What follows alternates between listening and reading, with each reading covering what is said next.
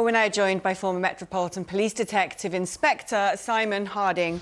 Simon, thanks for coming on the show. Uh, we're expecting a bit more news, but what we do know so far is a body has now been found in connection uh, with the search for Gaynor Lord. Um, in terms of looking at this as a whole, learning lessons from what happened with the Nicola Bulley investigation, uh, have, can we conclude essentially the police have done a very good job here? They've worked quickly and efficiently in challenging circumstances uh, in this search to get to the point that they have today? Yeah, it's quite a, you know, when, when you have 30 odd thousand people going missing a year, this is, you know, obviously it's, it's caught the headlines a bit, but it's um it's similar to many others where, you know, the search is where somebody goes towards things like rivers and is seen and, and there's, it's out of character. Then obviously, you know, they, they're following a, a well versed procedure that they do in that force as many other forces do around the country. So yeah, it's very it's uh, it's been done, you know, to the book really, and uh, obviously, but that, the most important thing is that the, the tragic news that, that the family have been expecting, I think, and uh, you know, our heart goes out to them. Uh, Simon, uh, were with Peter Bleksley from the Met Police, and uh, he was pointing out yesterday that the that water, the rivers, the sea can be very slow to give up their dead, if you like. And to, to some extent, Lancashire Police were very unlucky that it took, uh, I think it was the best part of two, three weeks, wasn't it, before they actually found Nicola's body. Uh, up in Norfolk, uh, the, that process has been that much quicker. But what we saw up in Lancashire was this sort of rather shocking spectacle of hundreds of amateur sleuths descending on that tiny town where she lived by the river, going up and down the river, conducting their own ridiculous sort of Twitter investigations. Now, the time scale, the time frame here up in Nor Norfolk is much, much uh, smaller, obviously.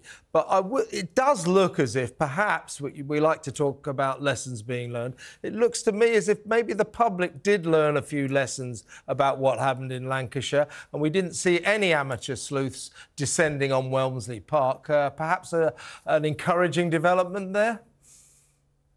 yeah, I hope the public have learned by that. I mean, um, you know, there's, there's two folds. The public will learn that their intrusion in those sort of circumstances was particularly unhelpful, but it was kind of, you know, helped along really and, and allowed by Lancashire at the time. And I know they've reviewed that about, you know, having having a cordon in place. You know, they they call it crime scene cordons, obviously, but you know, no one's there was ever saying in Lancashire it was necessarily a crime scene, but no one knew. And I think the idea now that Norwich have adopted uh, uh, what what most of us would have done is is a very large cordon around a very large area to prevent anybody coming in, um, you know, interfering with the scene perhaps, or or because they found items close by, they'll be searching. They will have searched everywhere. So what they've done is they've prevented those those lessons or prevented those problems that they had in Lancashire, where the lessons were learned that people just were, you know, it was it was quite sickening to see how people took it upon themselves to think that they you know they could do better than the police at the time. Um, so I hope you know I hope people do see this one as as this is what the police normally do. It's been a very um, what would appear to be very sharp operation and and but unfortunately with those circumstances at the end.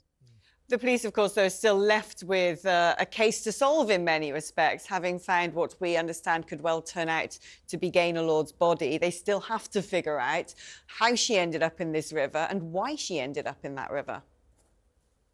Yeah, they do as, as much as they possibly can. Obviously, the, the, the circumstances that surround her leaving work and, you know, um, will will give them an idea of perhaps what her mindset was at the time. They'll know lots of information from family members around, you know, how she was in the in the days, weeks, and months uh, preceding what happened. So, you know, building that picture with CCTV and looking at telephones and all sorts of things in her background to to identify why, you know, she she has ended up there. But you know, it's um, unless there's anything particularly suspicious from the post-mortem, you know, we're likely to see that um, you know this this may not go into a full-blown investigation that, that um, you know, like murder inquiries or things like that that might happen. This might just be a, you know, a very a very sad, a tragic um, end to to her life. Simon, thank you ever so much.